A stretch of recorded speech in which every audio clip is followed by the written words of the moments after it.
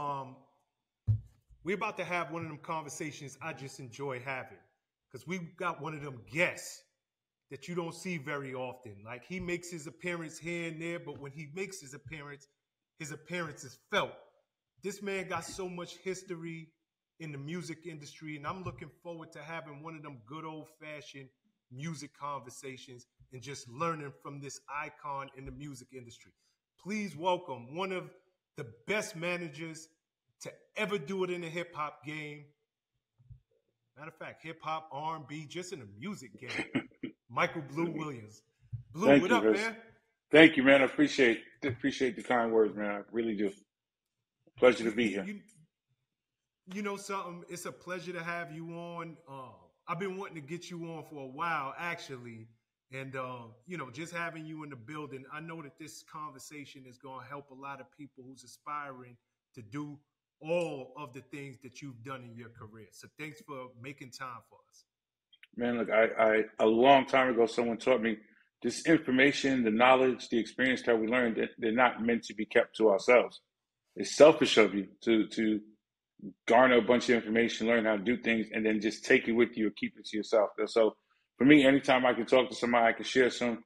That that's really how I feel. I don't feel like this is mine to hold. I think anything that I've learned in now my 30 years in industry, if it can help somebody get through that next step or hearing the story, I'm happy to share that information.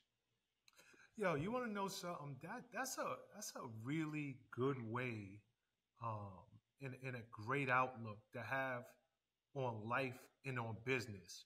I, I remember when I was interning in the '90s, and I was trying my best to get in the music industry, and I was taking internship after internship, and I couldn't get a job to save my life.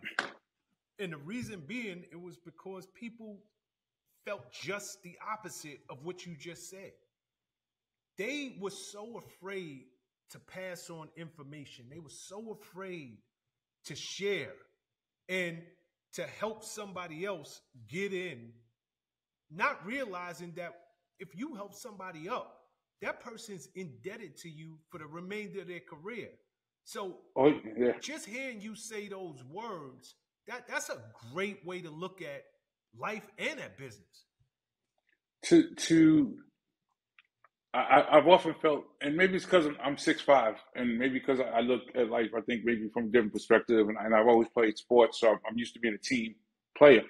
But selfishness just isn't, in that sense, isn't who I am, and, and it's it really, you keep people out or you block somebody from getting in, you may have blocked your next set, set of blessings. When you expand and you give people their chance, uh, these people I talk to that I might have had two conversations with in 1998. And in that conversation, though, it struck a chord with them. And now we're circling back and they're vice president of some company. But that conversation, that opportunity, it circles back. I'm starting with a head start with whatever I'm there to see him with because I put good energy out. The, the, the worst thing I tell managers is I'll happily share the information because I hate stupid managers. Stupid managers make it harder for good managers. Like if your manager's an idiot and he's taking whatever people are throwing out there, then he's messing up the curve for us. Yep. So uh, whether it's whether it's booking shows, dealing with the labels, whatever, like 360 deals worked in the industry because they broke one, and then two, and then three. But they broke. They started with people they knew they could break. They didn't come see me and Chris Lighty and us first. They knew they had to fight with us for the 360. Right? That, they knew that was going to be a fight. So if we can make it an industry norm by getting the new lawyers, the new lawyers, the new artists, we'll trick them first.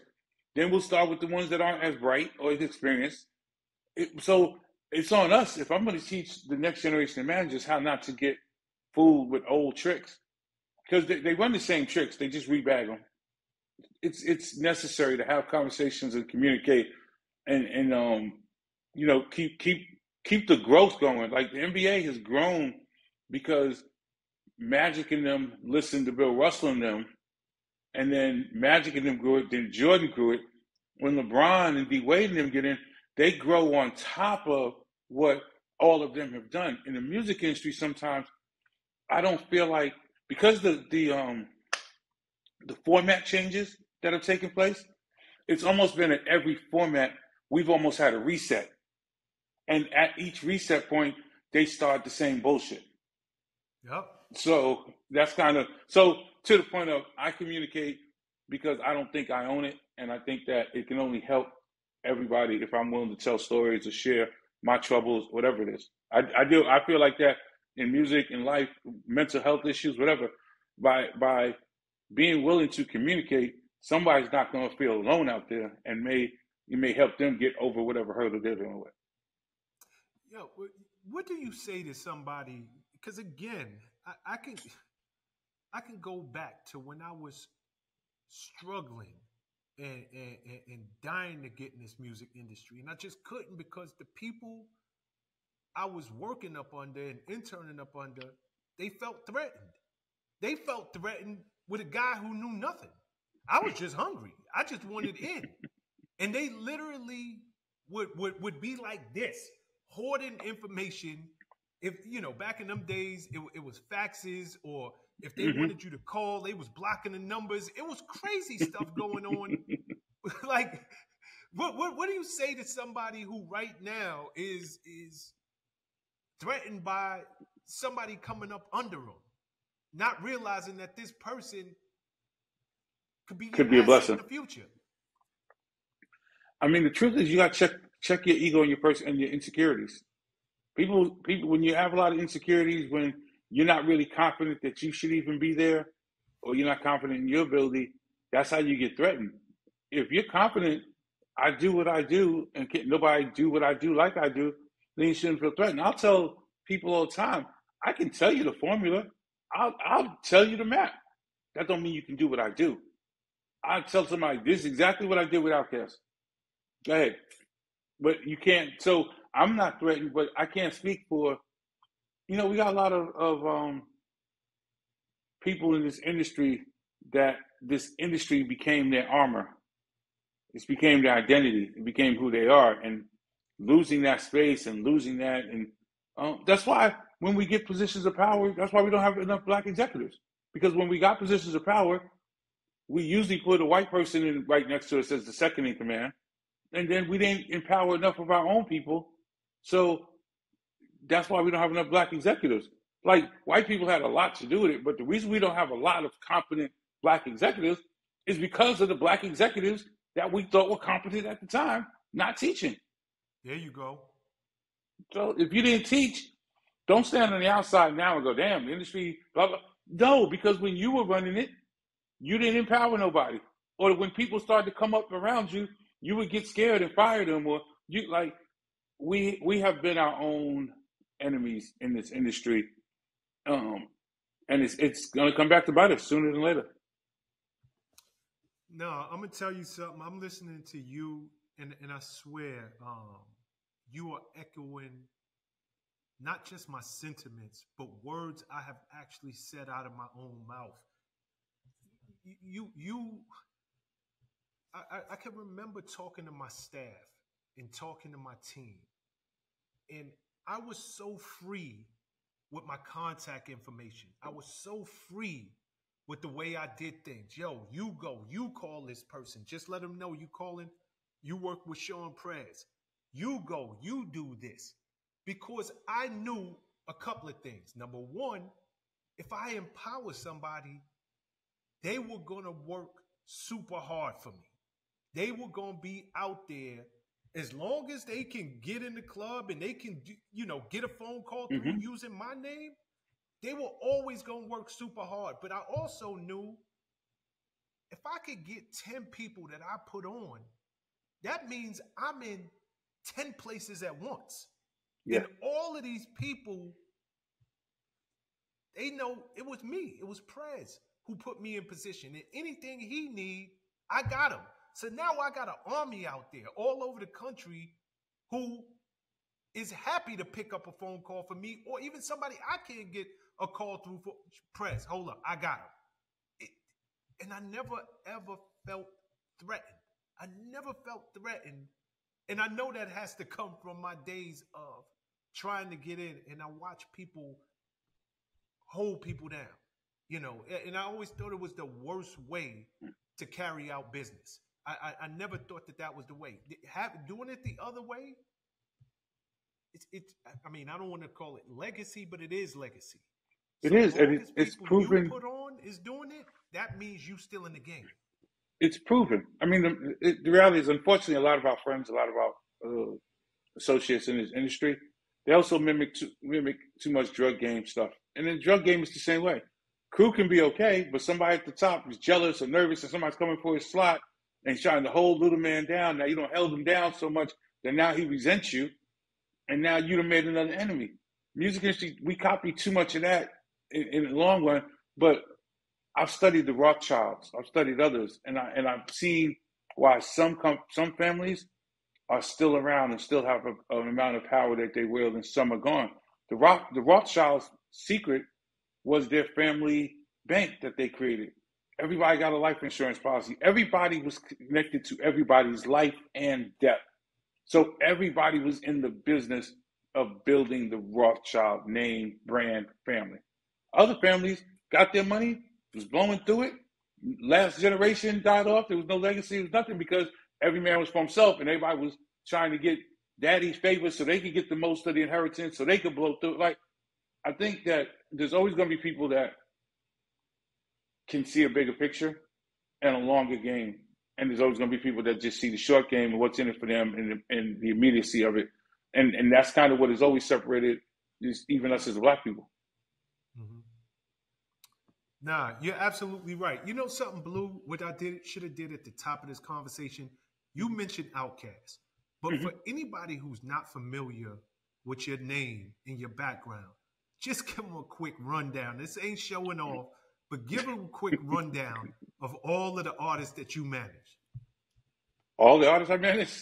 I mean, I know we can't go through. I mean, let's go with the big ones, the the, the Nick Cannons. I, will um, let you um, tell it.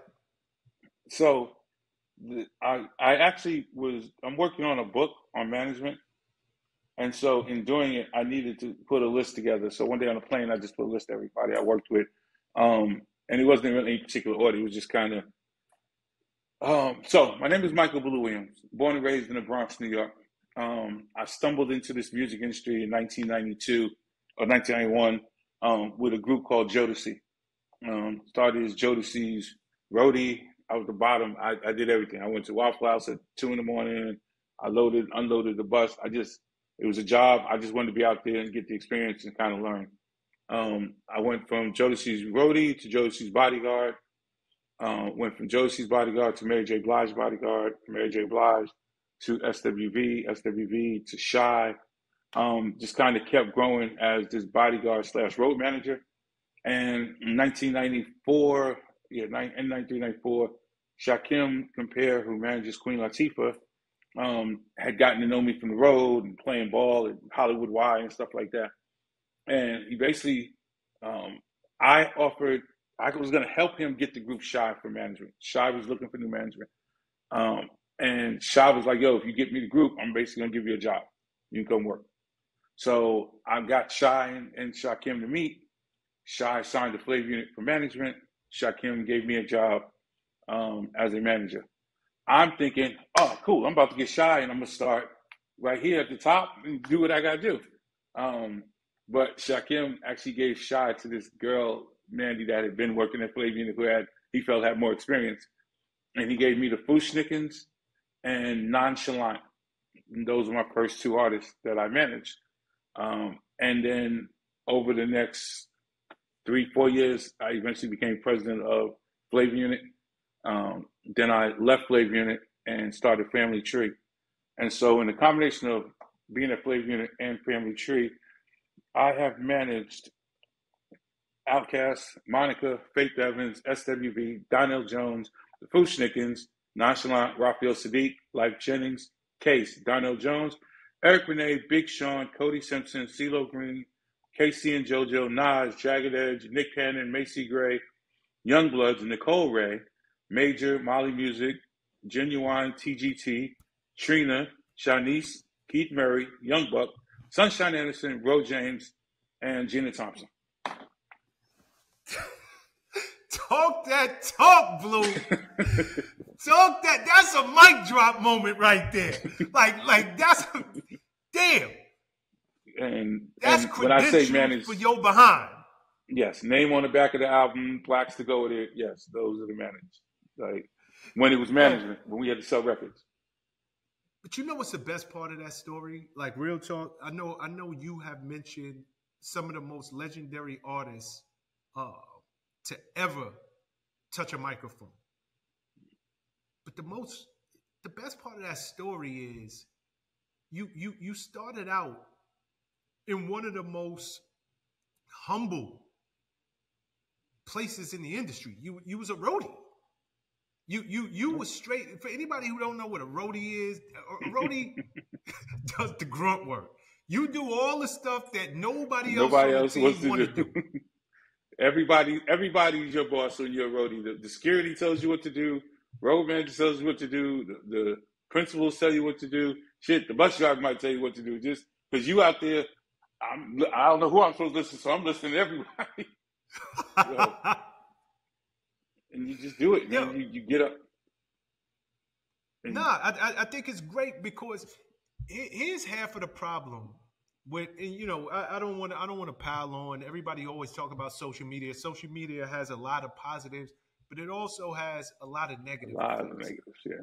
One of the greatest negative effects that social media have is that it shows people today. It shows where they are in this moment. It shows them in the big house. It shows them spending money.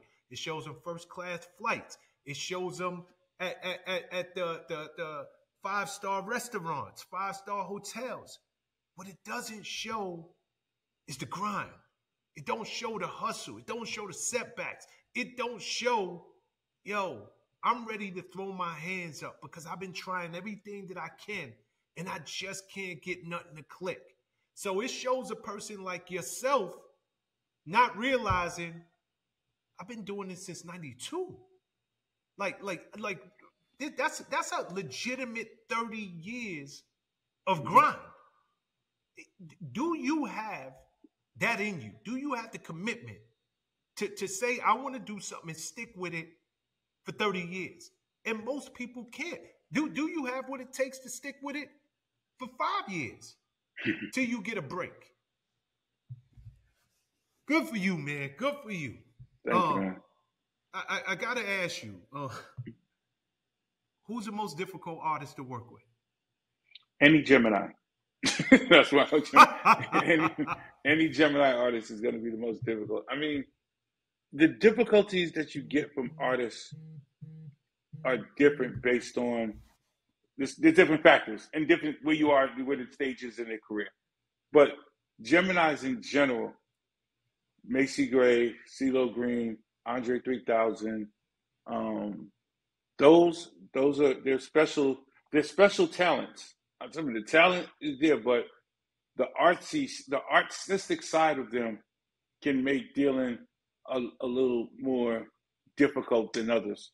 So I, I would honestly I w- I wouldn't I wouldn't specify one, though they've all been a pain in my ass at some point. But so I honestly would just group all the Gemini artists who, again, if I go through them on list, they are the most talented also. But man, it, it, it's not a cakewalk. okay, give me an idea. Like like you just named Macy Gray, CeeLo Green, uh, Andre 3000, who are come on, these are arguably some of the biggest talents in in, in the yeah. history of music. Uh, yeah. When, when, when you say difficult, what are we talking? Uh, you have. Let me put it in perspective. The, I'll put it in perspective for you. I, I'll put it in perspective. I'm gonna name some other artists that are Gemini's, and then you're gonna kind of see the link. Mm-hmm. Lauryn Hill, D'Angelo, Maxwell, um, who else is there? Pac, I think was in there. Um, it's just the list of them. So what I like to say, D'Angelo, I said Maxwell. What I like to say about Gemini's, artistically, they're amazing, but they also they can be very precise, and they can they get into their creatives can be like their personalities. And if they got six personalities, then you got six personalities trying to get their thoughts and ideas into that creative box. And usually they can create magic, but sometimes it can also become paralyzing. They take that's why it takes so long to get some of these albums from these artists because they get in their own way. They're gonna keep their questioning, the double take. I might still be waiting for Dre to finish mixing Hey Ya today if I hadn't taken it from him when we like and got it and got it to LA and got out. That's I'm just because we were on like the twelfth recall. Those that don't know, it's like you you get a record, you do it, you mix it, then the artist goes to listen to the mix and they hear something. There's a snare missing or something. So they do a recall and they have you raise the snare. Then they send it back. They get it back. Now they raise the snare and it took out the flute. So now they can't hear the flute. So now they want to go and they want to put the flute back in. And to do the flute, they got to lower the drums a little. So they send it back in. Now your third recall, the drums feel too soft. So now your drums are off because the flute's too loud and the like, and that is what they will get into a cycle of doing. But the record was fine at the beginning.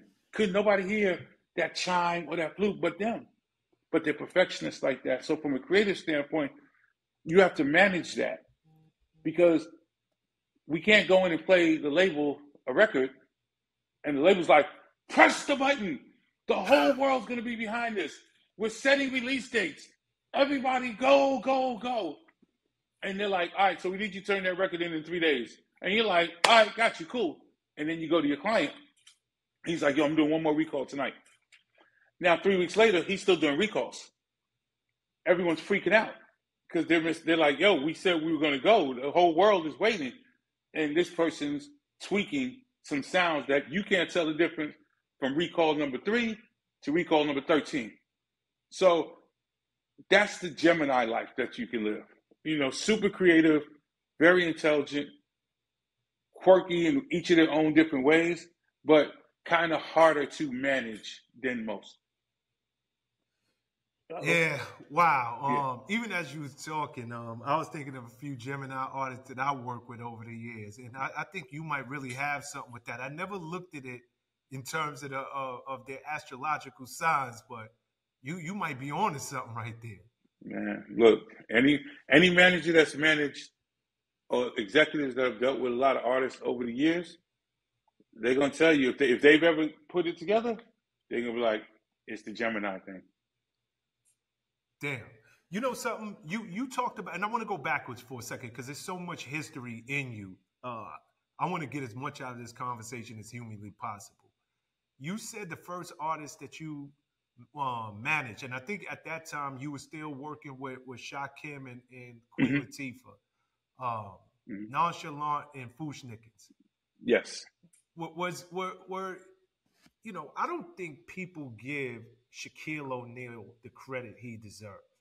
Uh, mm. move, we ain't got nothing to prove. Nothing to prove. What was doing yeah. their thing back in them days. Yes. Right alongside of Das EFX, they they and that, yeah. that was the golden age. For righteous teachers. Yeah. There you go. Mm-hmm. Uh, which would did, did you have hands on uh, management or, or any hands on with with Shaq when he was down with uh, Shaq Fu?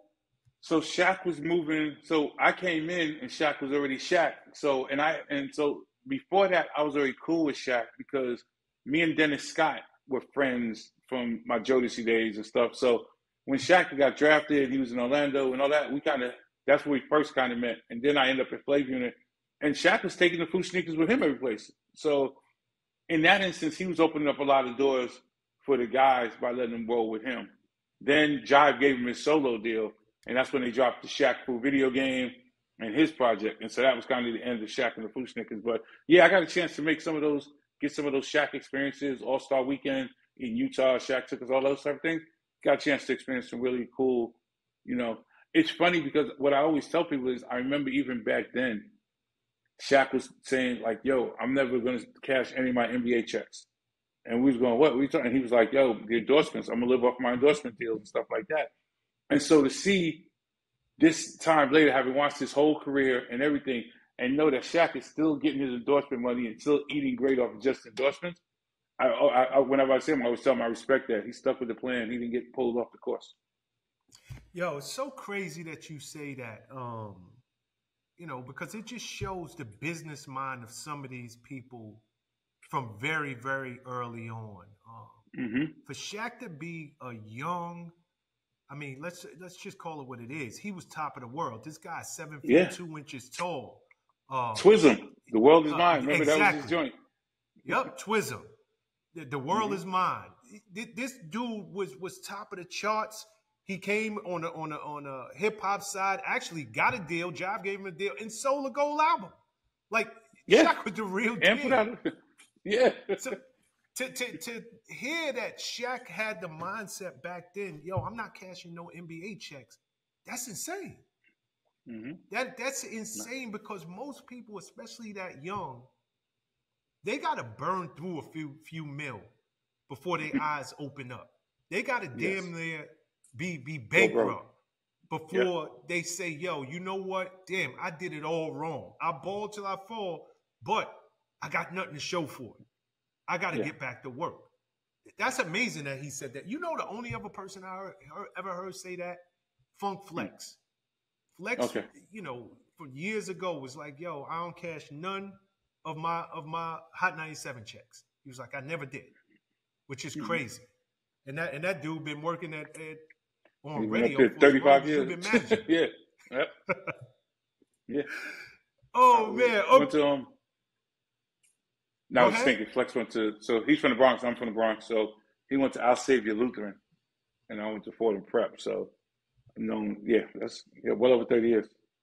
yo, it's crazy because I'm from the Bronx too. Uh, I, I went to Gompers. Sam Gompers up in the BX. Yeah, yeah. Nah, I went uh, Chris Brooks. So I went to Kennedy Of too. course, Chris And Brooks so and Chris Lighty. Chris Brooks, yes, went to Gompers. I remember the first time. totally up to this one, but so I'm one of the few people that actually played ball and was in the industry. Not an industry person that kind of played basketball. I was a basketball player that ended up in the industry. Like I was in college for basketball. So, and when I came home, when everybody else was Hamptons and all that shit, I was down on 55th, West 4th, Brooklyn, all place. And I'll never forget the first time I went up against Chris before he went to West Virginia. It's still high school. And and all you knew is that they was calling him the monkey Jesus. Mm-hmm. and Yeah. because he could jump and he was just so strong. And so little 150 pound me trying to guard Chris and he jumps up and he taps his, the ball on the back of his neck. Now we in high school and I'm eager and I'm like, I'm stopping this. And I jump up and try and rub it. And he takes me and the ball to the rim, drops the ball off and me right on the floor at Gompers. The school goes crazy. I was like, what just happened? Oh, like, he, he did it had- at Gompers? it was at Gompers. We were playing at Gompers. Remember, you used to play a home and home with everybody. Yes, yes. So it was at Gompers, and you know that gym lost its mind. I couldn't get out. I couldn't get out of the building fast enough. I think I don't know. I say I'm like I think some of that madness and playing high school ball and the way we used to scream on people and things that happened made me always made me feel comfortable on the stage, even if I was on stage doing stuff, not performing, but just being in front of. Because I tell people when you're in the industry, just because you're not on stage singing, there's so many other jobs to do that you could be on stage in front of 18,000 people every night too. Because you might just be someone's security. So you're standing on stage. There's still that audience is looking up and they're looking at you. You're background singer. You're you're playing. You're you're still going to be in front of a lot of people. And when people be like, I'm shy, I don't like to be in front of people, this ain't the business for you because you're going to be in front of people if you are on the out in that space. So I, I actually probably owe Chris Brooks some thanks to some of my success. Like, Yeah, R.I.P. Chris Brooks. I mean, that guy was was Charles Barkley, like Yes. literally in high school. yes, this is strong as hell. But You yeah, know, yeah, that dude was beyond strong. yeah, he was definitely RIP to him. But sorry, got off the music side to my basketball. It's crazy. I, I I had no idea you was you was playing ball in in our gym. Like that's Yeah. crazy. Yeah. Yeah, basketball took me a lot of Okay. places. uh, got a question for you. Mhm. You started out a flavor unit. What made you branch out from flavor unit and start Family Tree? So I started Family Tree while I was at Flavor Unit because Shakim was giving me a piece of commission off of each artist I managed. So instead of me getting taxed, that's when I first kind of really learned I needed to create LLC. So I created Family Tree as my LLC. Um, but what eventually led to me leaving, what got me to come to Flavor Unit was Shakim told me, you're never going to get rich working for other people. he was when he was talking to me about it, he meant you're never going to get rich being out here on the road for these people. You're just going to keep getting salaries and stuff like that. But if you come work for me, you can get a salary and commission.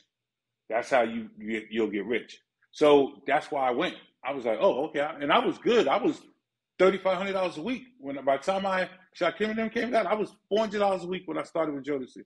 By the time Shakim and them came and got me, I was thirty five hundred dollars a week for me to be out on the road with you and doing security road management, whatever. And that was great money for me at the time. I ain't yeah. that I'm 24. Like I'm every place we living a good life. So when he said that, it made sense. So that's why I went to work for Flavor Unit. Three years later, when it was time for when when we started getting really big and a lot was going on, we kind of disagreed what that five percent was. As the checks got bigger, as we got hotter, um, there was some the negotiations on how much five percent looked different too. Like my five percent didn't look big when it was fifteen hundred dollars out of a five dollar check and stuff like that. But when it was fifty thousand dollars out of a, a, check, it was like, oh well, I meant five. It was just you you outgrow a company where I'm never going to get rich working for someone else, which means I'm never going to get rich working for you and Dana. This is Flav. This is Flav Unit. This is you and Dana's company. So no matter how much I bring in with the nine artists that I'm managing over here, you guys still going to take the bulk of that check. So it just made sense that it was time for me to go do the work and me get a bulk of the check. And amicable, had a conversation with Shakim. Cool. It was there was no fighting. There was nothing. Let me take. He let me take Outkast. Um, I think I took Outkast, like Donell Jones, like a couple artists that I had been doing anyway, um, and broke out. Okay, you just told me something I didn't know. Mm-hmm. I didn't realize Outkast was originally signed to to Flavor Unit. Yes, that was. So the story goes, 1994. Queen Latifah Dana runs into Dallas Austin. Dallas Austin gives her a tape on Monica Arnold. Dana falls in love with Monica, thinks she's the greatest thing, tells me and Shakim to go get Monica for management. We fly to Atlanta to meet with Monica, her parents, Dallas, the whole nine. We get Monica, wrap that up. Before we leave, Shakim's like, yo, let's go by LaFace, say what's up to LA and them. Just like kind of, we in your town, courteous, the whole thing. We go, LA is telling us about a group that he has called Outkast that he had put a record on his Christmas album and it was starting to go. Um, and it was funny. Shakim wanted to get in business with LA, who seemed to have this all this talent in the South that was going. And LA wanted to get business with in business with Shakim because he had a group like Outkast and he'd seen what Shakim had done in hip hop with Naughty by Nature and that. So the original relationship was formed between Shakim and LA. I got handed to do the work. And so I was like, cool. I don't think, to be honest, looking back, either of them ever really understood what it could have been. Really, at the end of the day, it was a relationship builder for the two of them. And it wasn't like either of them were really like, this is going to become what Outkast became.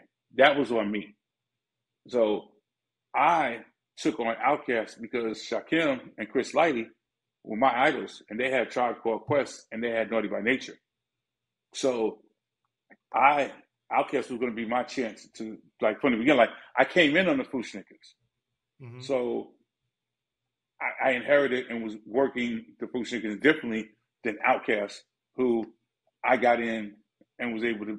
And like it was my group. There was no ifs about it, and I was able to rock and roll. So yeah, we started with Flavor. I, on one trip to Atlanta, I got Monica and Outkast for management, and that's kind of where the rise began. Okay, and, and I definitely didn't know that backstory. So thanks for sharing it. Mm-hmm. In terms of management, um, do you ever walk away from artists? Do you ever say, "Yo, it's just no chemistry here," or is for you, whether it's chemistry, it's no chemistry. This is a job. I do my job, and that's that. No, I, I think that management is, is too difficult if it, there's no chemistry. For me, it's too difficult if there's no chemistry and stuff management, I tell people like boxing, styles make fights. You know, um, some artists Y'all styles are gonna gel. It's gonna work. Y'all gonna have a chemistry. It's gonna go. You go seven, eight albums like me and Outkast. Y'all work together for 13 years. You Dana and Latifah. Y'all been together 30 years. Like Chaka and Luda and Jeff been together. Some sometimes y'all hit and y'all just go. Sometimes you work with an artist just for a cycle, and a cycle is one album period, as we like to think of it. It's like they hire you, you drop the album, you do some touring, and if it doesn't do what they thought it was going to do, they blame you, you get fired. Some artists have had eight or nine managers because it's never their fault, and they're always switching managers. And if you know, you know. For me, because of Flavor, I was able to come into management from a position where I never had to make decisions based off of needing money. And and I, I and every manager should be like that because what happens is if I'm managing you and I'm on my own and I need to pay my bills, I might take a show so we can get some money in. That may not be the best show. My decision is being influenced by the bills I need to pay. But when you got at least a base salary and your bills are getting paid, then you can go, I'm not going to take this one unless they come back and I'm a hold for this number because I need to up my group's number or I need to be on this stage instead of that stage because it's a better look. Now you're making decisions that are pure, purely intelligent management decisions. You're not making decisions because you have to pay bills. And what I've done in, in most of my career is I haven't had to be in that position. And in times when I've had I've been in that position where I find myself making decisions, I don't like doing it. It's just not me. It's not to me. I'm a purist when it comes to management, so that's not pure management. You know what I'm saying? Like that's just how that's my chip on my show. Like I want to make the best decision for my artist, even if it means me not getting in this half million dollar check before Christmas or before Thanksgiving, so I can me and my family and everybody can have a great Christmas.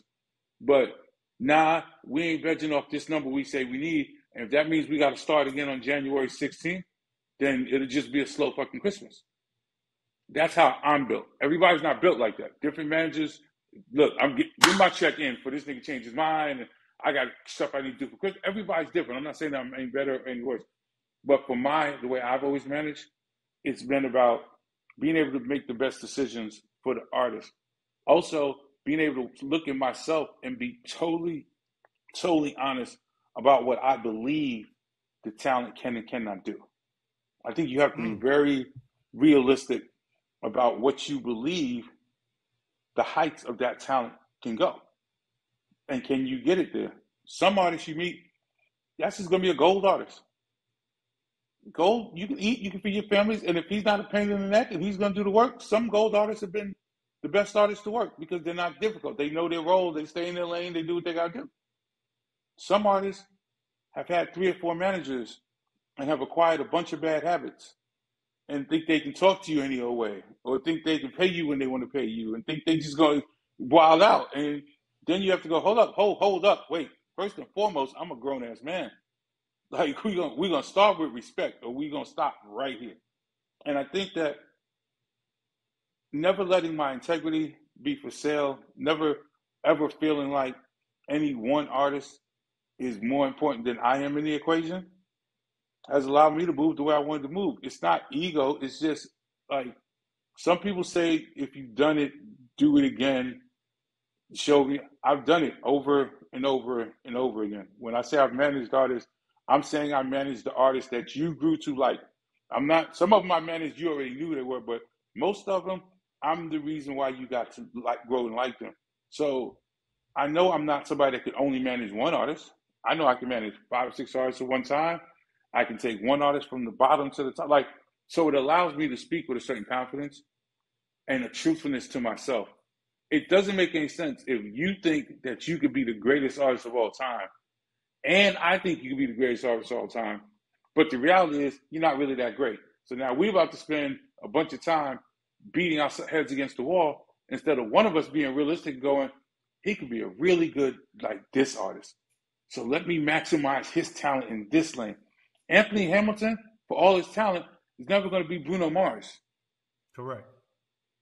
So for Anthony Hamilton to maybe go into Mars and start trying to make a bunch of Bruno Mars type records and stuff wouldn't benefit Anthony. Not to say Anthony isn't the most talented or as talented as Bruno Mars. I'm not saying. I'm saying there's differences that are out of either of their controls that give one an advantage and other not. You know what I'm saying? Like just the reality.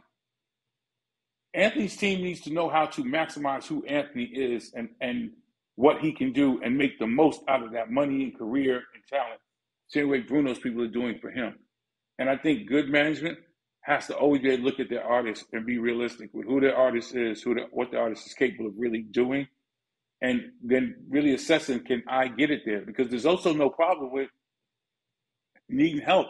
If your experiences can only get you through here, and you're not sure how to wiggle something, sometimes you can do a co-manage. Give up a piece of your pie to make your pie bigger. You ain't got to give your artist away. Just make the pie bigger. And sometimes for certain artists, that's worked. Nobody's known that there was a co-manager. Irving Azoff does it all the time. Somebody calls him, needs some help. Irving puts his arm kind of around him, helps them navigate, makes the artist bigger, takes a piece. That manager still looks like the star. So it's kind of you got to figure out the style of the artist you're managing, and as a manager, adjust your game to it, and never forget that you work for the artist. Listen, at the end of the day, no matter at the end of the day, I always work for Outkast. I've always worked for them. I'm I'm basically an employee. People look to you like you're the boss. I'm, I'm the boss of their business, but I'm technically not their boss. And if you understand that, and you also are able to keep in mind that it's a business relationship as much as it's a friendship. Look, when you're a good manager and you're a manager with your artist for six, seven years, you know who the family, you learn the kids, the baby mamas, the girlfriends, the best friends, the cousins, everybody. But one day they're gonna fire you, and that friendship is gonna be, you know, tested, and you have to figure out, you know, where do you go after that. I've had artists that fired me three times because they've come back three times, and now we in one of those in betweens where I'm not fired, but I'm not hired, but they call me for stuff like relationships are gonna with age you're gonna grow and you're gonna change and you should mature and you should be able to navigate um, the changing in the relationships that you have with people? You know, you you clearly carry yourself with a ton of integrity. You clearly understand uh, the value that you bring as a human being to the job, which is management. But how difficult is it? Because every artist out there, they feel as though they should be as big, if not bigger, than their peers. They see somebody else doing something, playing a certain stage, playing a certain venue. They want to know why am I not there? So yeah. how do you get an artist to trust you? To trust I am making the best decisions that is going to catapult your career to the next level, even if you can't see it now, or even if I have to turn down a few dollars so that we can make more in the months to come? So I think trust trust is earned. Some start off with trust, but you, you earn trust. And I tell young managers that say like mean what you say, do what you say, like especially early on, because that's how you earn trust. If you tell somebody you're gonna do this, then you do it. And and artists will learn to trust you when they start seeing things get done, or if they ask you something and your response is this, or like you build trust and equity by being good and being thorough. And artists is like, well, why can't we do this? And you go, well, we can't do this yet because of this. And they go, well, such and such is doing that. And then you go and you look and see why that person is doing that. And you go back to them and you go, this is why he's doing that. Are you willing to do that? If you're willing to do that, then we can get there. But what you better do is when you get them to do that, you better be able to get them like you said you get them there. When you do that, you gain the trust. When you say, I'm going to go get the label to give me another 50,000 for us to shoot this video, when you don't get that 50,000, you lost an opportunity to gain their trust. But when you come back with 75,000, your trust went up. So you earn an artist's trust over time, honestly, by delivering doing what you said you're going to do and delivering, and they learn to trust you. And when you're wrong, say I was wrong. It's not the end of the world. I tell artists all the time, don't take the job so personal. I, I feel like 90% of the time, any idea that I throw into my artists, they're going to reject because it's coming from me. They will find a way to circle back and act like either they had the idea or somebody told them an idea or they read it on a fucking fortune cookie, whatever the hell, anything to avoid just admitting that it was my idea. So now, am I going to stand on it was my idea? And no, fine. Greg Street did it. All right, it was Greg Street's idea. Fine. I just need to get shit done. That's my approach. Yo, I would tell you, you got to go into this job selfless. You really do. If you, yeah. if you take yourself too serious, management is not for you. It's gonna kill you. It's nah, kill you. management will absolutely kill. You know something? You manage you manage OutKast for 13 years. Mm-hmm. What was that breakup like? Painful, hard. It was um. I mean, I gotta believe these were your friends. I know y'all did mm-hmm. business little together. brothers. Mm-hmm. Yeah, these are your brothers at this point. Mm-hmm. So, so, was, so, did, did they walk away from you? Did they fire you? Did you walk away from them? What, what did that look like? I, I'd like to say we all walked away from each other. I think that. So here's the thing about OutKast. We put out six studio albums and then two like greatest hits and some and the soundtrack. Go back and check your greatest rap groups that you've seen. Three tops, maybe four. You don't you don't get to like rap groups don't stay together like that to get to six, seven, eight albums. In doing that, and keeping yourselves together, in in in in, and do, there's sacrifices that come with being in a group, whether it's a rap duo or a four piece band. That's why they don't last long because everybody, some people get tired of sacrificing. Big and Dre had been doing this since they were 17, 18. There have been a lot of compromises. Big is one way, Dre is another way. There was a lot of tugging and pulling. And I spent 12 years of their lives tugging, pulling, pushing, slapping, like just whatever I needed to do to get across the next finish line. And I think it was kind of like as we finished up Idlewild and everything, it was kind of like burnout. And, just kind of, it was kind of like, so technically, me getting fired was the first straw to fall, technically. But it ended up being a walkaway time for everybody to take a break. So OutKast never broke up. Big and Dre still talk. They're just not making music together as OutKast right now. And that was very important to me because I've studied the game and I realized that when you break up or you announce a breakup, your fans lose interest. They lose hope. They're over it. If you're fed up with it, they're fed up. But so long as you're still kind of together and there's a chance, there's a smidgen of hope that you guys might get back together and do an album, you might look up and be 15 years later and people are still like, when are y'all doing a new album? Because you never broke up. And that's kind of where OutKast is now. People just want a new OutKast album. They're not mad at either guy, but they want a new OutKast album.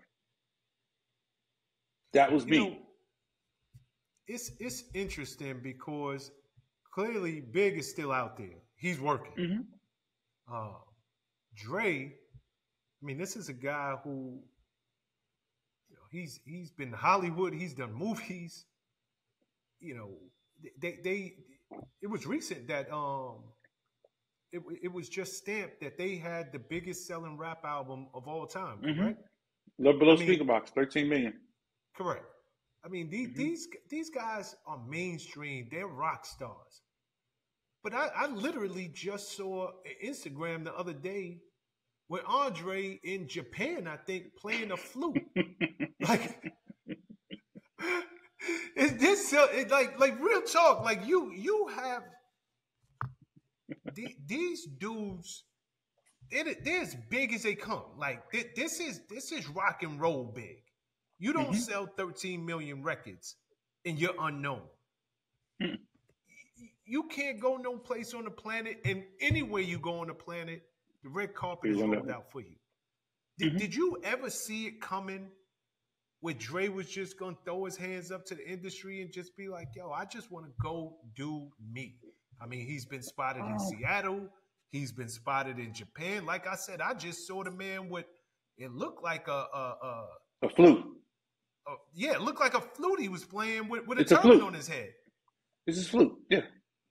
Um again, Gemini, free free thinker, free spirit. Um a lot of artists just want to get famous and rich so they can be hot on their block. They want to be hot around the neighborhood. They want to be hot in their family. They just want to be hot.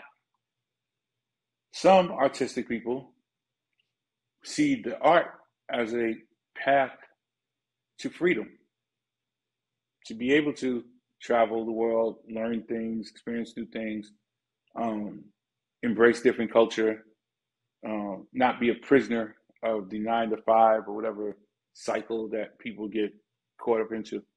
Dre's that type. Dre's just enjoying his life. He's just music isn't his sole driver. And Jimmy Iovine told me this a long time ago. He said Bruce Springsteen is, is like this, and and as I, I've always read, there's some artists that like that.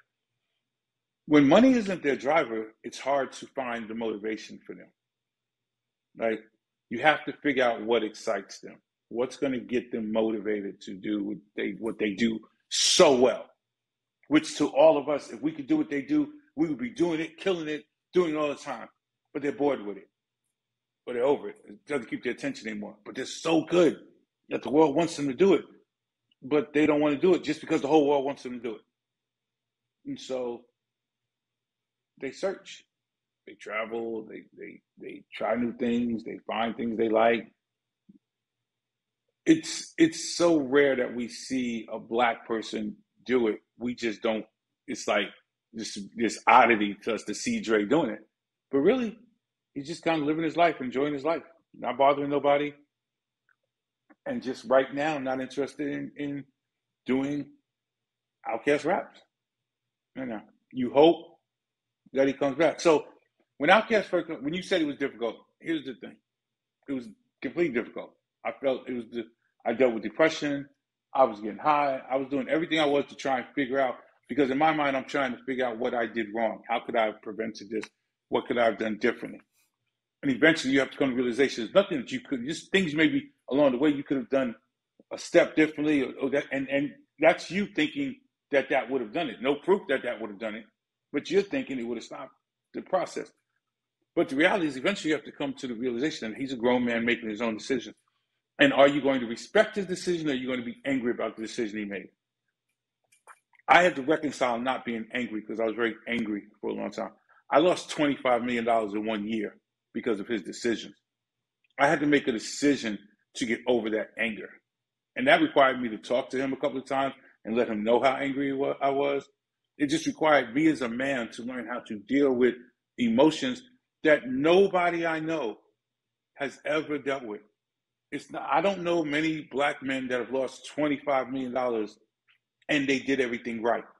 Like, not ego wise, but I did everything I was supposed to do with OutKast. I turned them into the biggest rap group in the world.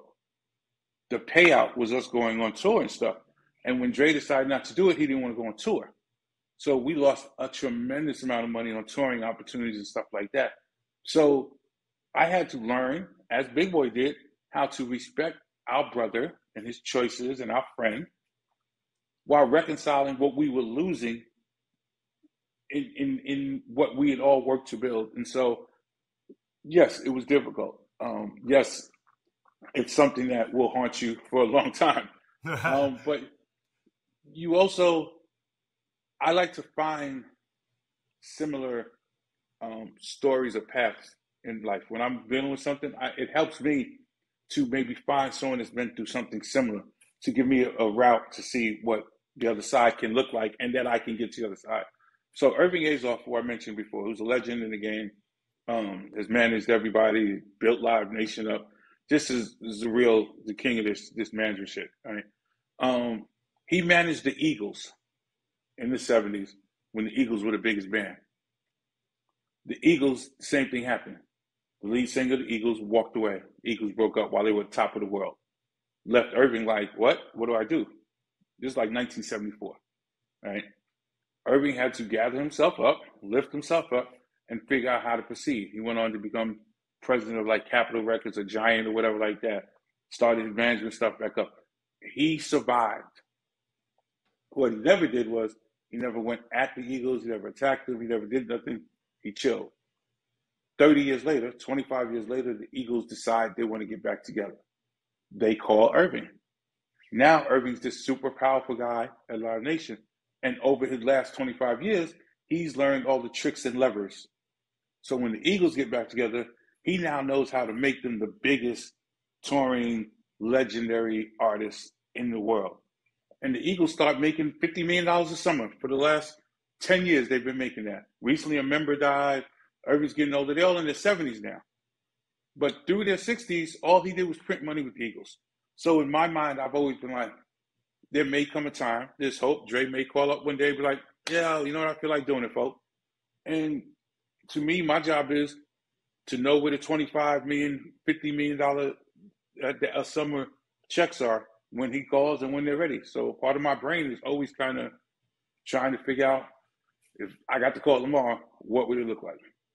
Which is probably not healthy, but the therapist will probably say you're holding on to stuff. But that's you know what I'm saying. But that's the that's the method I watched somebody else do, and they had a successful career. And you know, I also am at a stage where I don't enjoy management as much. Um, it's not the same game that I grew up with. As you know, this isn't the same business that we started. We're not.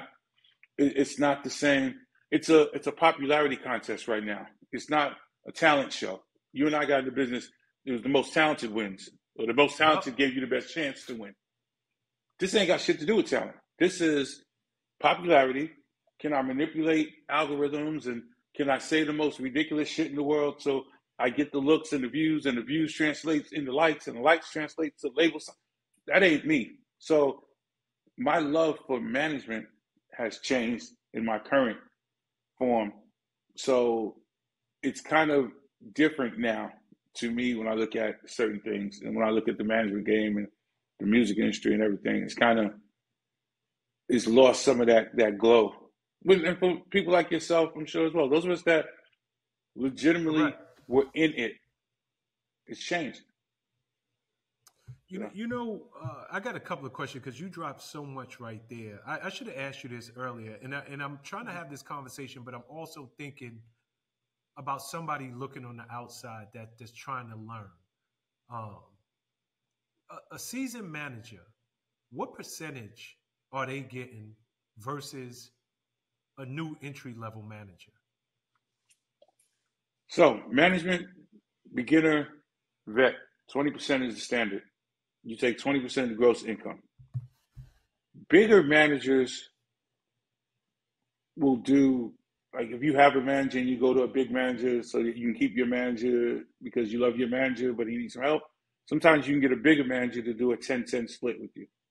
Um, some managers, as they're with their artists a long time and you make a lot of money, they go down from 20% to say 15 to 10. Like, oh, we've been doing this a decade together. We'd have made a shitload of money. And, you know, I'm not having to do the same work I did in year one and three so I'll drop my commission down to 12% or 10%. So it's it's a very variable thing, the management game. Um, sometimes you have to adjust your management commission whether you want to or not. Sometimes you get an artist on the road, you tell them they were going to make a million dollars, they spent more money than they spent, and when it's all said and done, they're getting 300,000. Well, if your commission check is also 300,000, and they only make it three hundred thousand, and you take that three hundred thousand, you you're gonna have you're gonna have some problems. So sometimes it's smarter to take a step back and go, you know what? You should have made a half million on this tour or whatever. So I'm gonna take 150 and I'm gonna give you like we're gonna give you 150 because you were out there doing the best show you could, blah blah blah, and then you make the business manager take off five, and you get everybody to take a hit so that artists feels better about themselves for the tour. That's not in any management book. That's not anything gonna.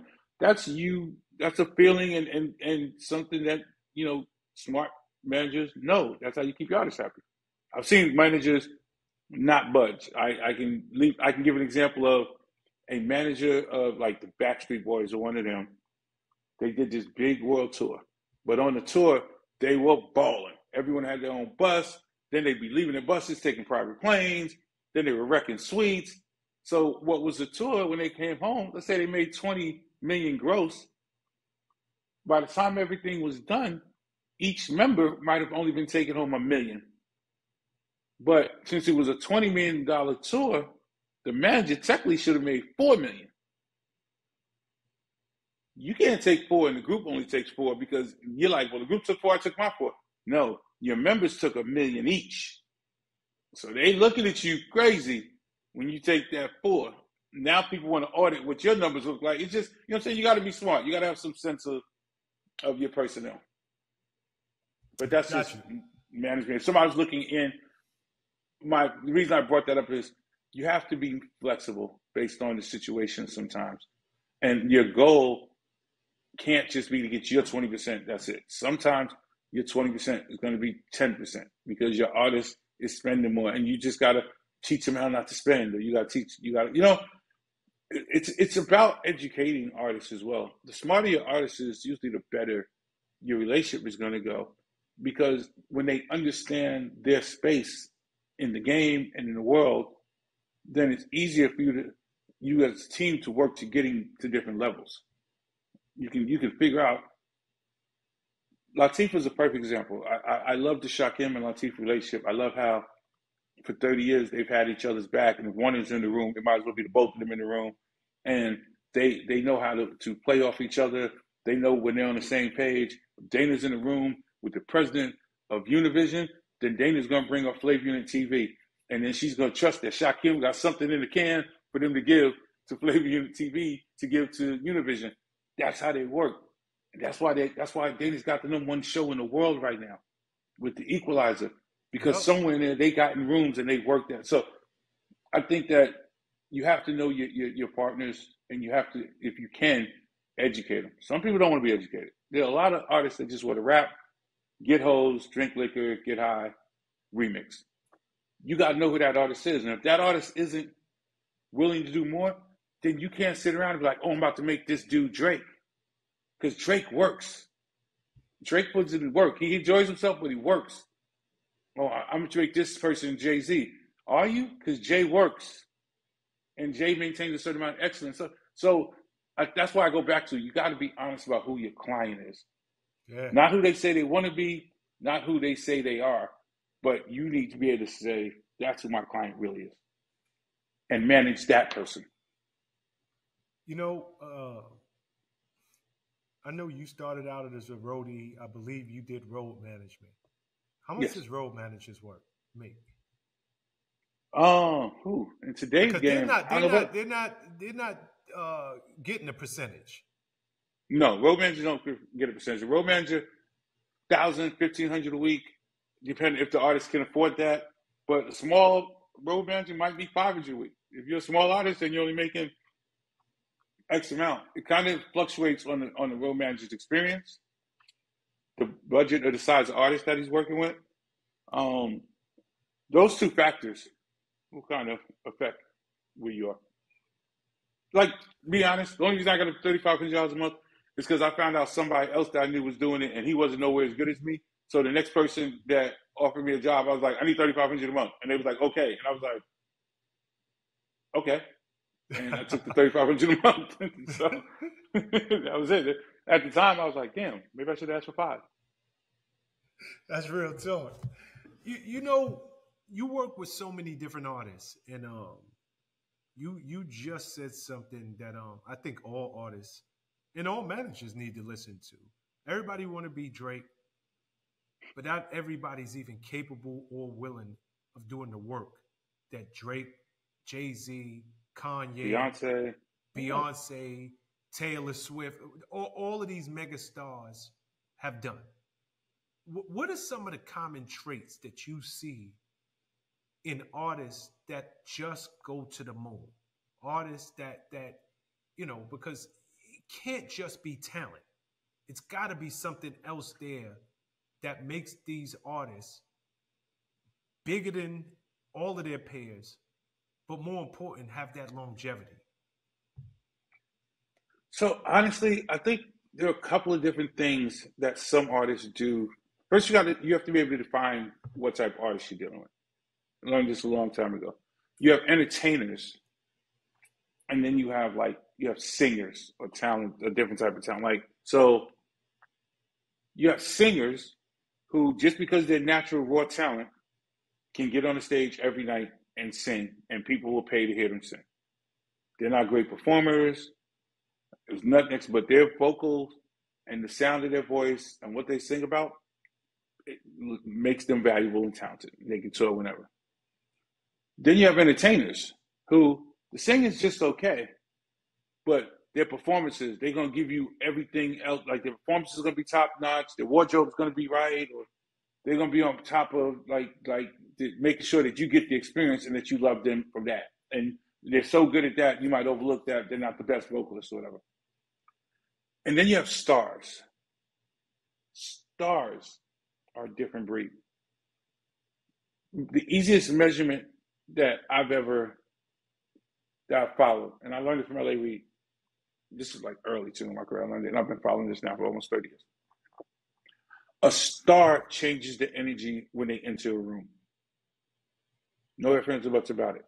When a star enters the room, even maybe even before they're a star, when they enter the room, you know they've entered the room. Perfect example. The-Dream walks in the room tomorrow, anywhere in the world.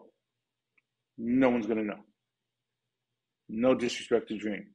One of the most talented writers, great talent, can sing the whole nine, but he's not a star. Chris Brown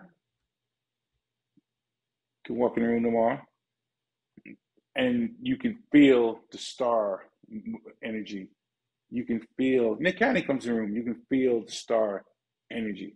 Stars change the energy of a room.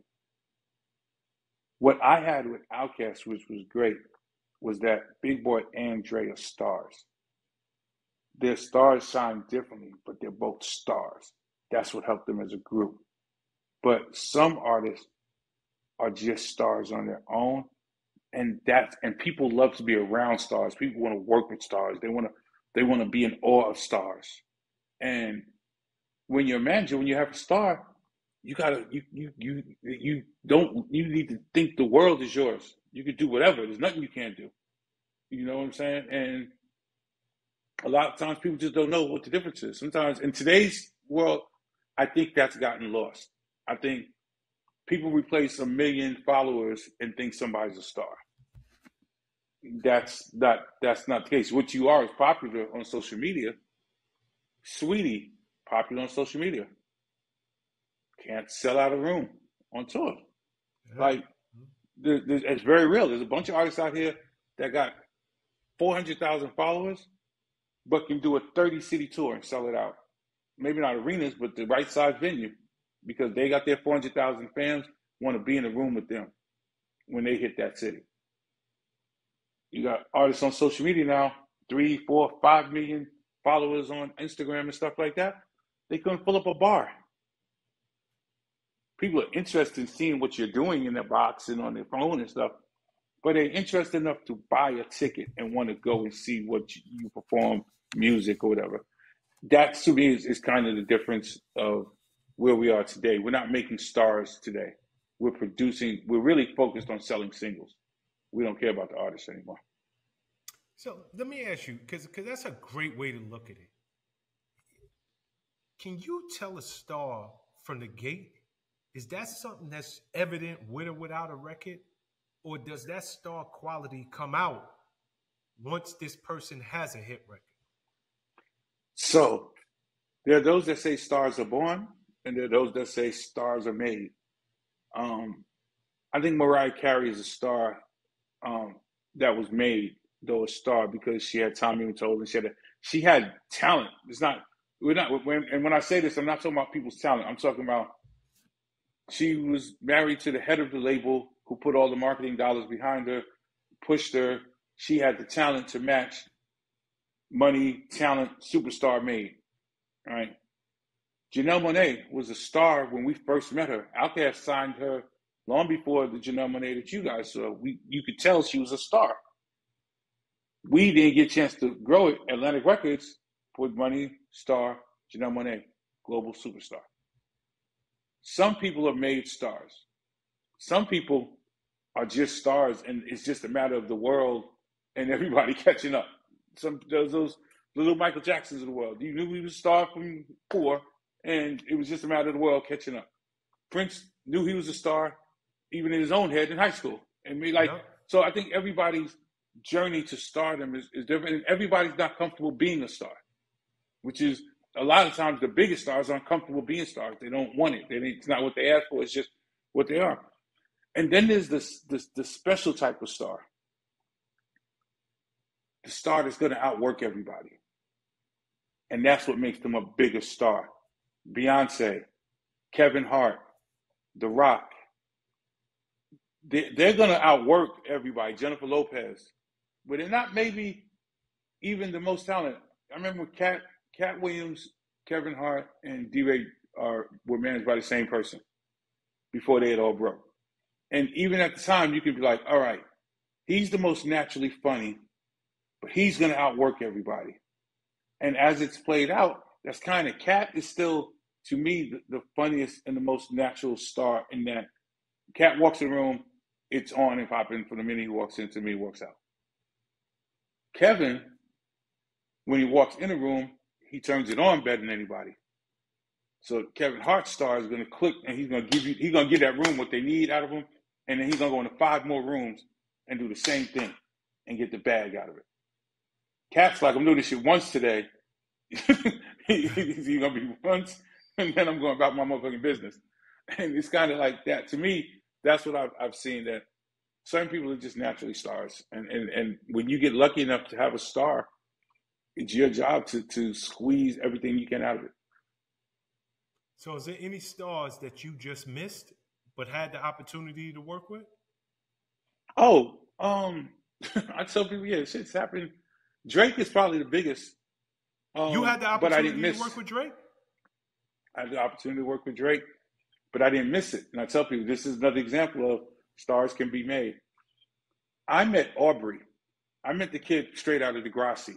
That's who came to my office. He came to the office with my man Tony Perez, introduced me to him. There was no Drake there. It was Aubrey. It was a kid that had been an actor in Toronto who just landed in New York that wanted to have a music career. What the world meant later was Drake, who took some of the Young Money swag and the Cash Money swag and some of Wayne's style and some of he had gotten he collected. She fast forward three years, that Drake is not the same Aubrey that I met. So that's what I'm saying. Things can change based on your environment. It's like it's like the old age question: nature or nurture. If the head of your label believes in you and they're going to nurture you, then you're gonna you can get further along if you're willing to do it. I, perfect example. I, I, will keep this is a story. I will keep it short and sweet. I managed Lyfe Jennings on Lyfe's first album when he first got out. Signed to the same label as John Legend. Right? John Legend signed to Kanye West, the golden child in the building. Anything he needed. He needed a band for a TV performance. He needed they needed to take care of Kanye, so Kanye would come and be on TV with him. John Legend got everything he needed in that album. And Lyfe Jennings was the little engine that could. And we went and got a van and we went to venues and we toured and we sold and we Lyfe sang. Any place he pulled out his guitar, he's ready to sing and do his thing. And I tell people, if you go back and you look at how much they both sold on their first albums, Lyfe sold like one three. John Legend only sold like one five, and he had the entire labels push behind it. But Lyfe was willing to outwork and do the work, and he connected with fans at a slower clip, but he still got to the same place. So that's nature. Lyfe's willingness, his natural star ability, his willingness to work, and his team pushing, versus kind of nurture, which is the label saw John. Kanye said saw the talent.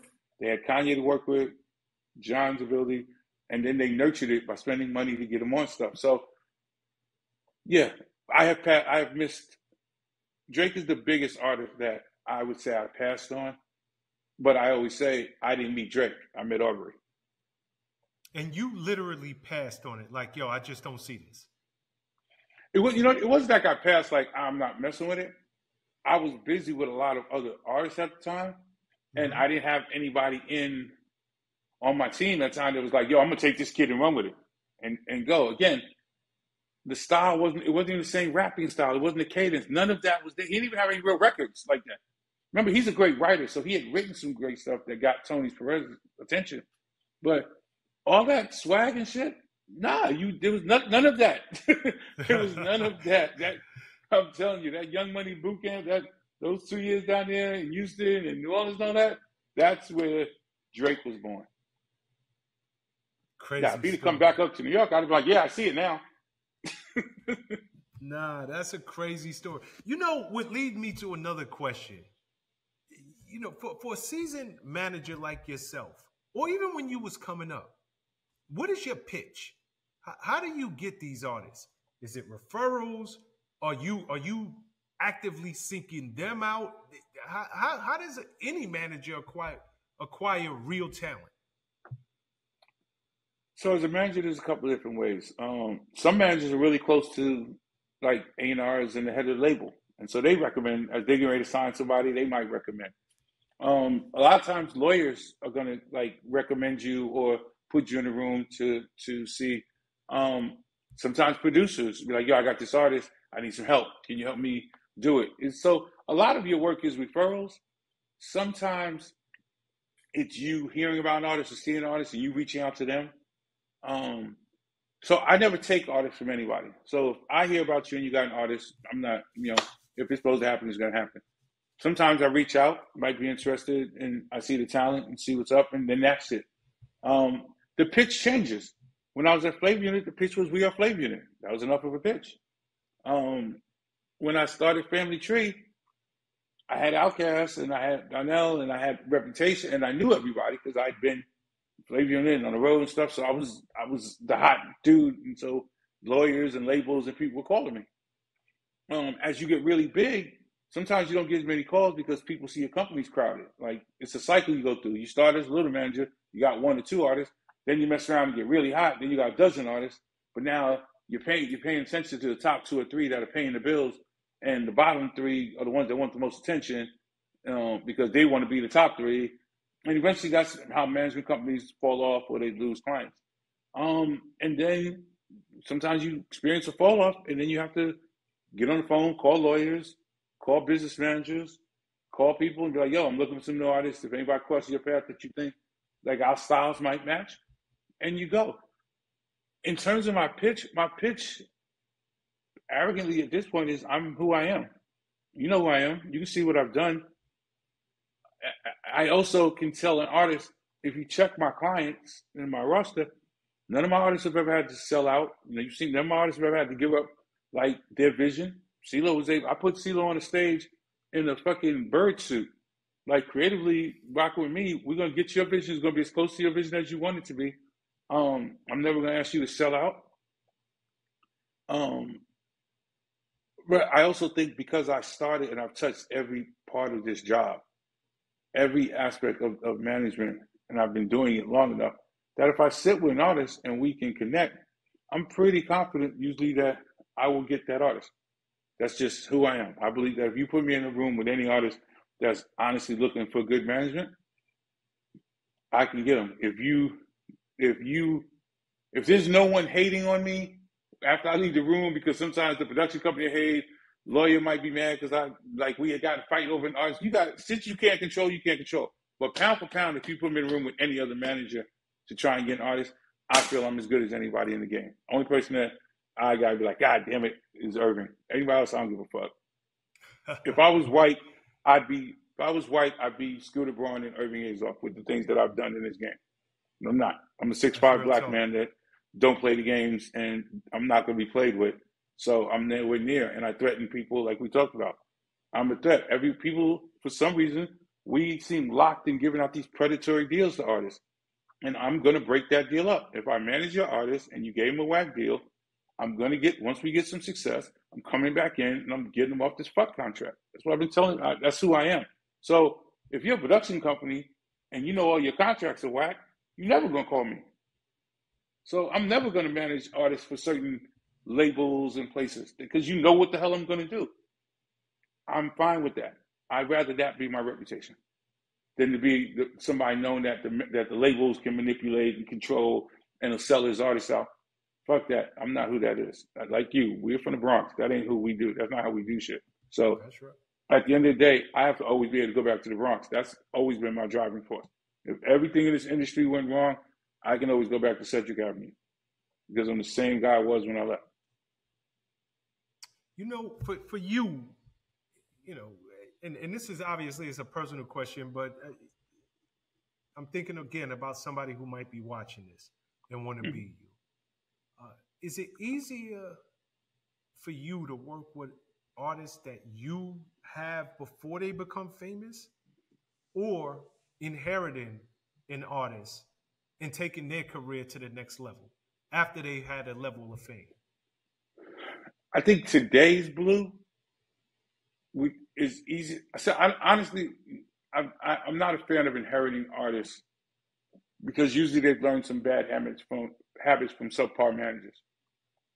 I am more of a fan of co-management of a young manager that's got things going and he's looked up and now he's in the rooms with Sylvia's and all these people and he feels a little overwhelmed and needs some help or some advice. All that. You can shine, kid. Get it. My ego does not require me to shine. You can be the one out front. People can do it. You talk to me. We'll figure out and strategize. When you need me to make the big calls, boom, I'll make the calls so we can get shit done. That's me now. Young Blue, I run through buildings. I was Superman. I didn't like put everybody on my back and carry us to the finish line because that was my mentality. So when you're young and you got the energy and the drive, go, go hard. Like work your hours, put in your grind. That's what those are going to not only be the toughest time, but they're the best time because that's where you're built at. Be smart enough to know if you need some help. If you don't want to go to a manager because you're scared you're going to lose your house, whatever, get you a good lawyer. But you need somebody else smart in the room with you. I was blessed that I had Shakim in the room. I had access to Chris Lighty. I had access to Lyor Cohen, and I wasn't scared to ask questions. Shakim's best trait was that he basically had a no question is too dumb policy. So I could walk upstairs, knock on his door, ask a question. Yeah, do it like that. Well, boom. After I've asked two or three questions, and I start realizing the fourth time I might just try it on my own. Oh shit! The fourth, the fifth time I did it on my own, it worked. Now I'm off and running. Next time I go for him is going to be when I run across something new. Now I'll go back and ask another question. Shakim was never insecure, so he never had a problem answering and telling me the question. The answers because he knew I was going to take the knowledge and run downstairs and go do a better job for the company. You have to be, you have to take people where you find them, I would say. And if you're a young manager right now, your biggest, what you can't compete with me if you're a young manager is my experience and my relationship. You can't. You're not going to be to out. But what you can is your your your your relationships and your understanding where things are currently. Find your peers Find find your class, as I like to say. Some of us came into business around the same time. This is our class. Yep. Paul manages Eminem. Mark Pitts and I used to do pop shows together. Like some of us came in as Steve Rifkin. We kind of entered around the same time. That's my class. I'm able to reach out to those people. But if you come came in recently and you you know Tuma, who's head of Def Jam now, and you know certain people, that's your class. Make sure you got the relationship with your class before you even have to call me and my people and my class and stuff. Grow, get out there, shake hands, kiss the babies, like be be who you say you're gonna be. When you do get a client, communicate with the label, be visible. Don't just sit back and let it look like you're just waiting for checks to roll in. Get out there and be active. As you grow, figure out where you want to go also. Are you going to put all your eggs in just this one artist and that's going to be your path? Do you want to grow a management company of your own, like I did?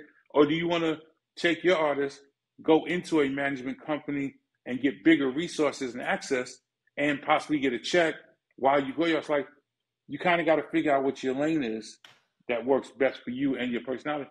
everybody's not an entrepreneur. Everybody can't live check to check. Everybody can't live waiting for commission checks to come in. Shit's stressful. Artists have the shortest memory in the world. It's time to play commission check. Everybody gets stupid, stuttering, don't know what you're talking about. You gotta chase down your check. You like, dog, really?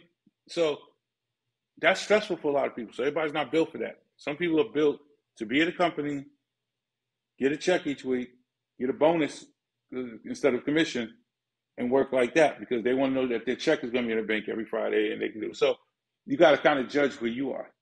You want to fly with no net, or do you want a net? You know, kind of is everybody's personality. You know, I asked you this question, but I, I, I angled it toward artists. I, I, want, I want I want to talk about managers, executives, the people behind the scenes. You mentioned some of the greats, Irving Azoff, probably one of, if not the best to ever do it, the Scooter Brauns of the world, uh, Chris Lighty, RIP, um, Shakim, another great manager, yourself. What are some of the common traits that all of you guys have in common that you know from the gate when you're looking at young talent, this guy's got it. He's going to be one of the great managers in the game. Um,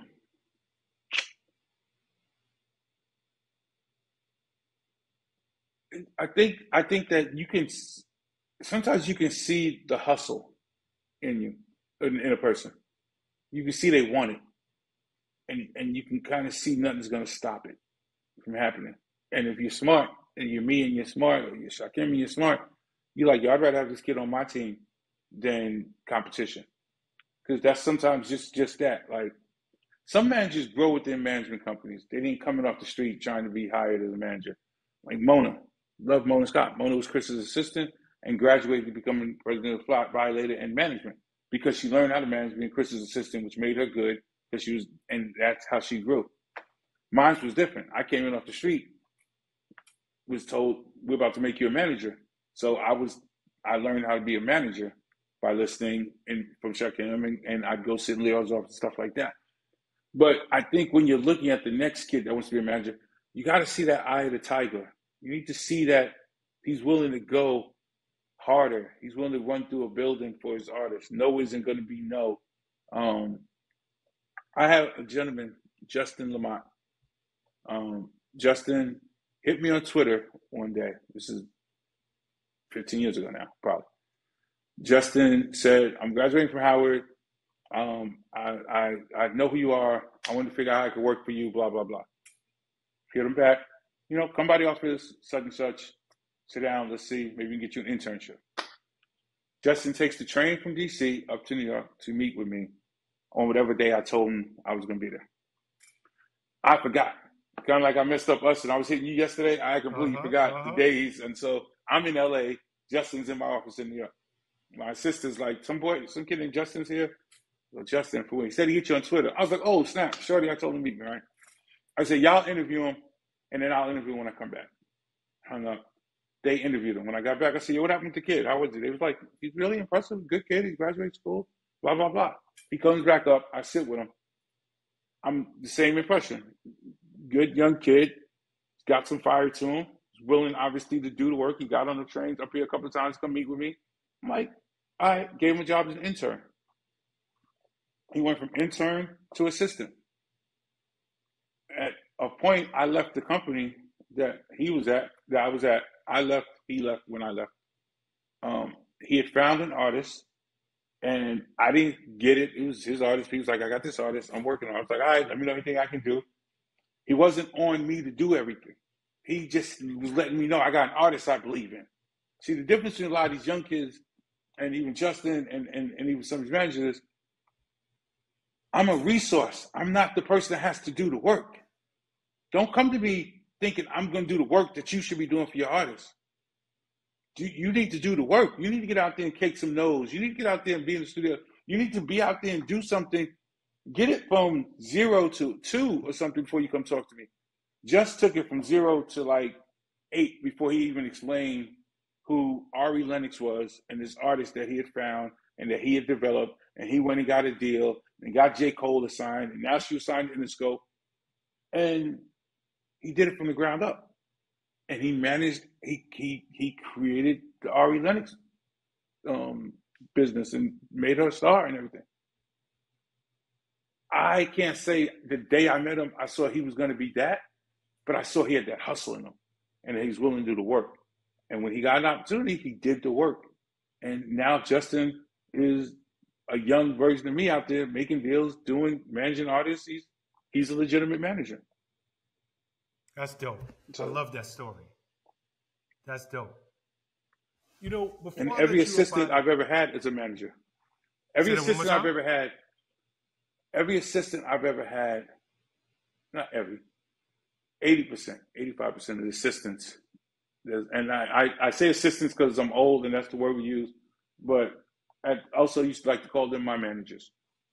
They've all left to grow and do either management or start their own businesses or whatever, because my job is not to hold you back. My job is to get you to help me be a better me while we work together. But while we're doing that, can I help you be the you you want to be? Because again, back to what we started with.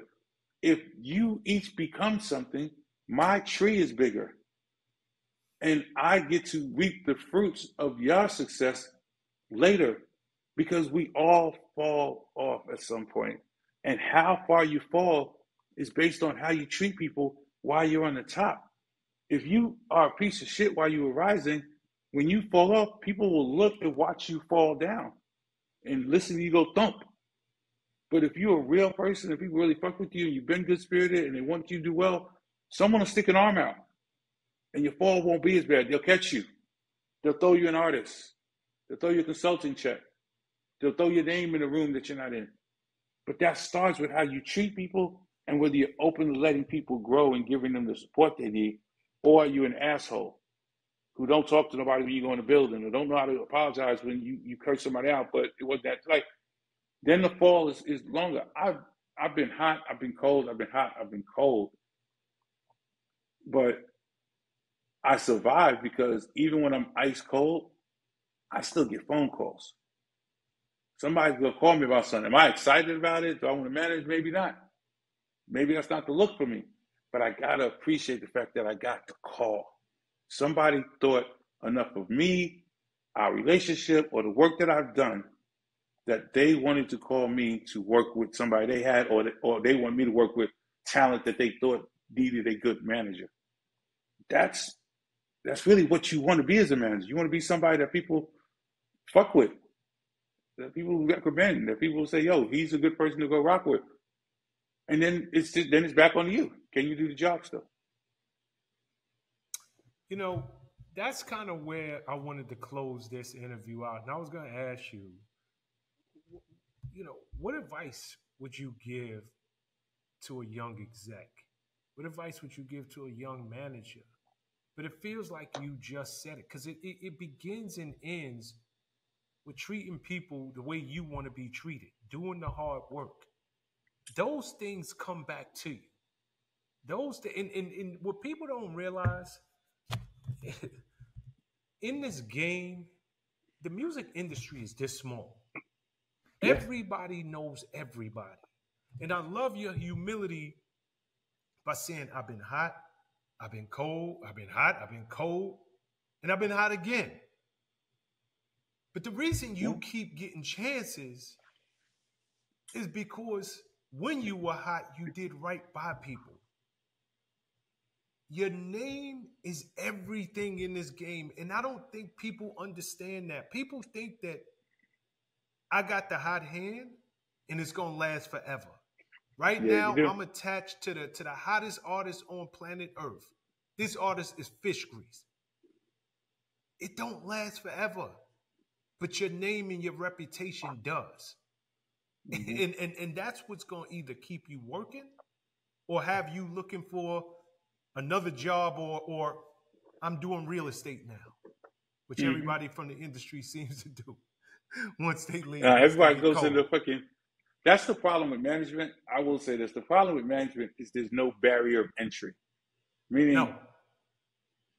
anybody can pick up a, a, a, phone and say they're a manager, and it sucks because every industry person, when they lose their job, like falls back in, they're gonna start managing. And it's kind of insulting to real managers because y'all think y'all can just hop in and do this. And I watched them mess up careers because the thing about management is you, you are playing with someone's dream. You you really got to understand that for you it might just be a job or somebody you picking up or a check, whatever, however you look at it. But it is somebody's dream, and so I think they deserve a certain amount of respect and and and real effort if you're going to do it, and not something you're practicing or playing with. So your name, your reputation, um, they mean things. If you're new, if you're trying to figure out how to do this, go sit and meet people. Take the rejections. Everybody's not going to sit with you. You might want to go sit with with one of the top lawyers at a firm, and he don't know you, and he ain't got time, and he ain't gonna sit with you. But you might be able to sit with one of the smaller lawyers at the firm who just got there, and now you and him kind of both starting at the same time. Build your relationship with him. When he starts to get hot, he might send you clients. You start to get hot, you might send him clients. You guys can look up and y'all can be 20 years having been doing business together. May go five or six without talking or doing business. But one day you get an artist and you're like, yo, they need a good lawyer. And you like, I know who's a good lawyer. And you call him. That works with everything. Promoters, radio people, lawyers, everything that you come across in this industry, you kind of got to build your reputation. Now, it's hard to be cool with everyone or be on point with everyone. For example, me, I know who a bunch of the heads of, of the record, like of the radio stations are, and I know them because I've been doing this long as they know me.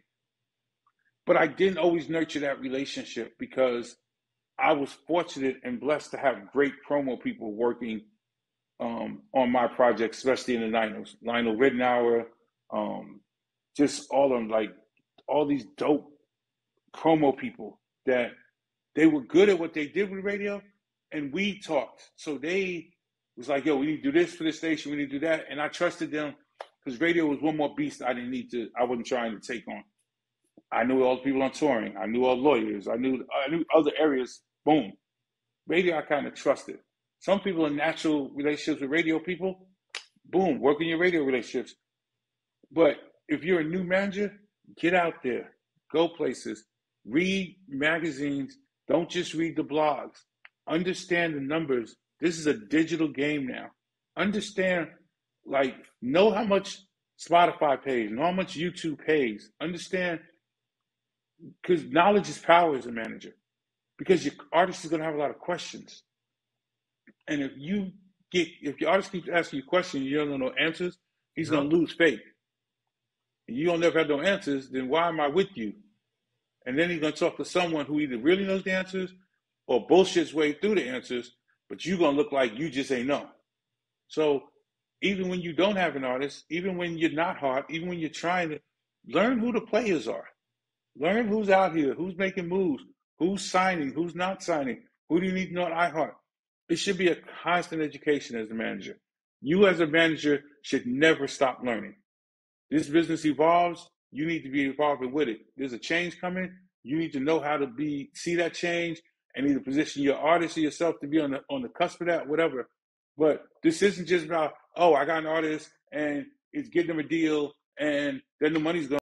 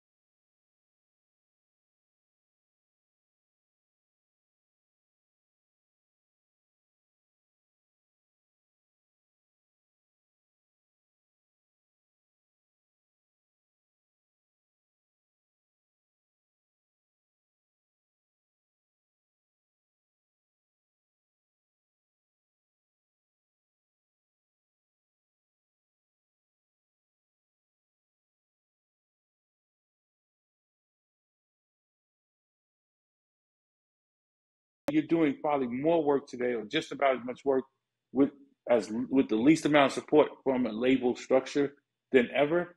So before you start claiming your manager, or before you you think this shit is a game, study, figure out what it takes. Do you have what it takes? Is it what you really want? Are you ready to, to swing without a net? Or do you need to find a building to get into and get you a check?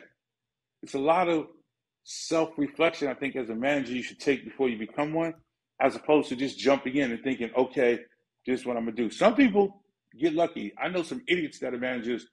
They would just stand in the right place when the artist got hot and the artist oh. trusted them and the label protects them because the label just tells the manager what they're going to do, and the manager goes, "Okay, I'm to ask him," and then the artist says, "Okay," and the manager just sort of gets to ride along for the success. You might get lucky, and there have been people, a lot of artists and managers I've seen get like that. It doesn't last though. It doesn't. It's not going to last a long time. Eventually, either you're going to get exposed, or the label's going to decide that that artist needs a bigger manager that knows more, and then those same people that will protect you are going to become the snakes that are getting you out the door. So if you're not educating yourself, if you're not reading, if you're not reading the trades, if you're not reading, fuck these blogs, but reading things that really can also give you some business knowledge and understanding and perspective, then then you're losing to somebody that's hungrier than you that is doing that. I mean, you just dropped so much wisdom and so much knowledge, man. We're ended there. Like I almost don't know where to go because you just said a mouthful. And if anybody, if they didn't hear nothing else you said, Blue, understand something. This is not the 80s. It's not the 90s. It's not even early 2000s. The labels do nothing these days. You have to build yourself. The labels are jumping after, but they're mm-hmm. looking at you to build yourself. And if you mm-hmm. don't have a great team behind you, if you don't have people that are ready to run through walls for you, if you don't have people who understand the game, and if they don't understand it, they're willing to put in the work to understand it, mm-hmm. you, are going to be one of, of, of the millions of talented wannabe artists out there that the world has never heard. But Blue, I appreciate you joining me this week, kid. Uh, you Man, thank you for having and, and, and, and, and I know people, somebody out there is going to benefit from it. That's all I can hope, man. I appreciate you having me. Absolutely. We got to do this again, brother. Anytime, sir. Anytime, bro. My man. Thank you. What's up, guys? Thanks for sticking with me to the end of the video. Truly appreciate you. If you like anything you heard here today, go ahead and hit that subscribe button. And if you know anybody that can benefit from this message, feel free to share. Peace and love. Make every move a power move, and I'll catch you all on the next video.